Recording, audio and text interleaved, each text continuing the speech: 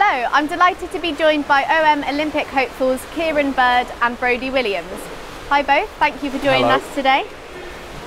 First of all, congratulations on your selection for Tokyo. Uh, now you're both recent leavers, so what's it like to be back at Millfield? Has anything changed since you've last been here? Um, well, there's been a global pandemic, but no, it's nice. It's quite special to come back and see, you know, see where the stepping stones to our dreams, you know, were. Um, yeah, just in general, you know, there's obviously new additions around campus that probably weren't here when we were here, and uh, different staff members as well. You know, it's interesting to see what's moved on and how things have progressed. And why did you both choose to come to Millfield? Obviously, you know, Brodie, that you're a local boy, so why did you choose to come here? Obviously, it, it was quite helpful that it was on my doorstep. Um, so it was actually just in year 10, my swimming career was obviously taken off a little bit, and uh, got asked by Ewan to come here, and I decided to because obviously the facilities here are incredible, and I just knew that I was going to get a lot of benefits from coming to Millfield.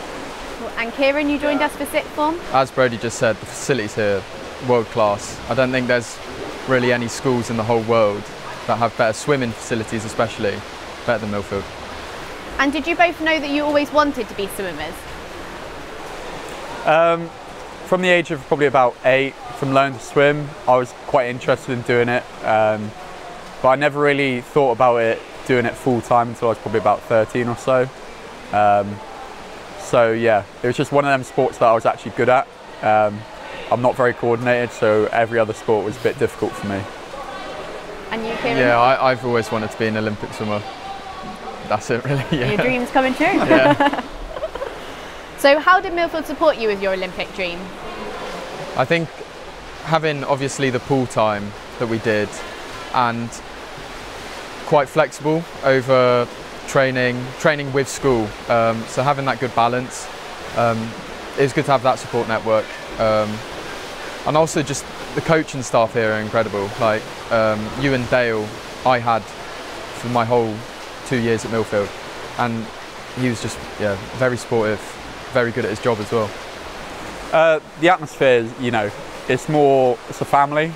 Um, you know, you all get out of the pool together and you walk up to breakfast together, and everything is, you know, you spend your time with the same people every day, and it just makes friendships that last, you know, forever really. And you know, that's what probably one of the big, biggest things I miss about Millfield is having that close knit family environment.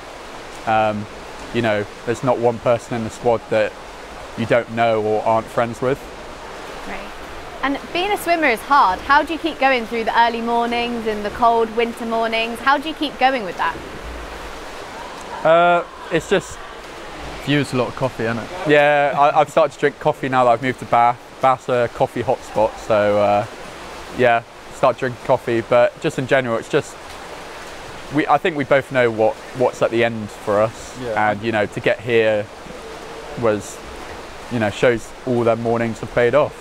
Yeah, having those goals and ambitions as a driver really helps. And as we have in Bath now, we have a good group of swimmers, elite swimmers. And yeah, just having a lot of people wanting to achieve the same as you do. And at Millfield, it's the same because, as Brodie said, you have a you have like the family orientation around it. And normally, everyone wants to do the best that they can do, but also wants to see everyone else do their best. And what would be one piece of advice you would give to a current Millfield swimmer at the moment? uh, for me, I'd just say enjoy it. Like um, Yeah. you'll never experience anything like it. Um, just the atmosphere and you know, like I said, family around you is just something you should cherish while you're here. yeah, just make the most of that and just listen to your coaches as well because they know what they're doing, they know what they're talking about. And is there anything that you would like to say to Ewan and the rest of your coaches here? I think just thank you, really. Yeah, Yeah, Ewan's play, a played a massive you. part for us. So, yeah, huge thank you to all the staff, including Dan. And we'll see you in, in Tokyo as well. Very exciting. Yeah. Thank you both for joining us and good luck for Tokyo. Thank you. Thank you.